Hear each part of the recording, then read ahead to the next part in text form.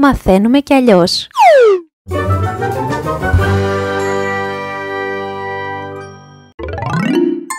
Ώρα για μαθηματικά.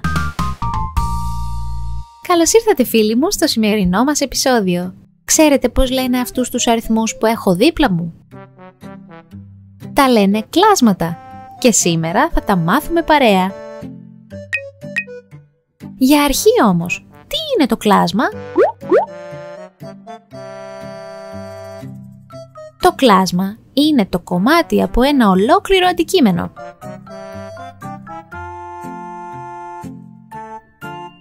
Είναι εύκολο να μετρήσουμε ολόκληρα πράγματα όπως μια πίτσα ή ένα καρπούζι.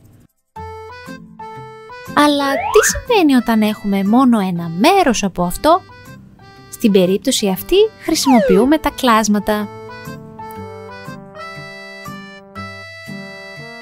Ένα κλάσμα έχει αυτή τη μορφή. Έναν αριθμό επάνω, έναν αριθμό κάτω και στη μέση μια γραμμή. Ο κάτω αριθμός ονομάζεται παρονομαστής και μας δείχνει σε πόσα ίσα κομμάτια μοιράσαμε το ένα αντικείμενο. Ο πάνω αριθμός ονομάζεται αριθμητής και μας δείχνει πόσα κομμάτια από το σύνολο χρησιμοποιήσαμε.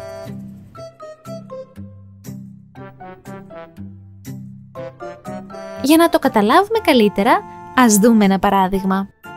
Η κυρία έχει μία πίτσα και ένα, δύο, τρία, τέσσερα, πέντε παιδάκια που δείχνουν να την περιμένουν με μεγάλη ανυπομονησία. Αν δεν τη μοιράσει σωστά, σίγουρα δεν θα αρέσει καθόλου στα μικρά παιδάκια.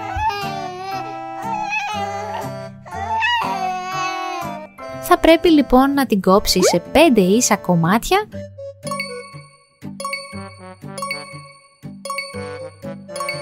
για να πάρει το κάθε παιδί από ένα.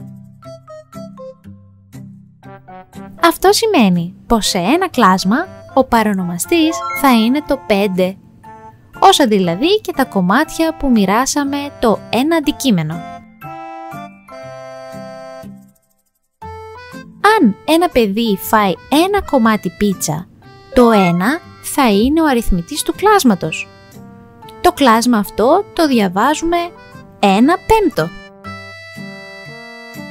Όταν έρθει και δεύτερο παιδί και φάει άλλο ένα κομμάτι, τότε το κλάσμα θα έχει για αριθμητή το 2 και παρονομαστεί ξανά το 5. Σε αυτή την περίπτωση το διαβάζουμε 2 πέμπτα. Πάμε να δούμε ένα ακόμη παράδειγμα. Η οικογένεια αυτή αποτελείται από 6 μέλη. Το μπαμπά, τη μαμά και 4 παιδιά. Στην περίπτωση αυτή, ο αριθμός 6 θα είναι ο παρονομαστής, καθώς η οικογένεια αποτελείται συνολικά από 6 μέλη. Αν θελήσουμε να μετρήσουμε πόσα είναι τα παιδιά της οικογένειας, ο αριθμός 4 θα είναι ο αριθμητής και το κλάσμα το διαβάζουμε 4 έκτα. Πάλι θέλουμε να δούμε πόσοι είναι οι ενήλικοι, ο αριθμός 2 θα είναι ο αριθμητής, ενώ το 6 παραμένει φυσικά ο παρανομαστής. Το κλάσμα αυτό το διαβάζουμε 2 έκτα. Σε ένα κλάσμα διαβάζουμε τον αριθμητή όπως θα διαβάζαμε κάθε αριθμό. 1, 2, 3, 4, 5, 6, 7, 8, 9.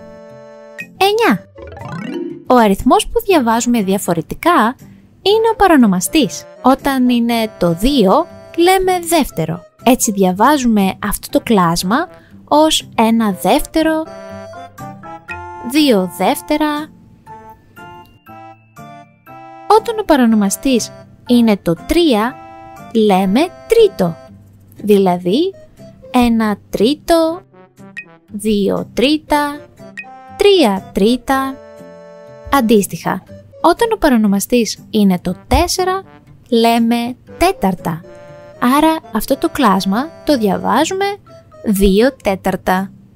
Αυτό ήταν το μάθημά μας για τα κλάσματα. Θα τα πούμε στα επόμενα επεισόδια.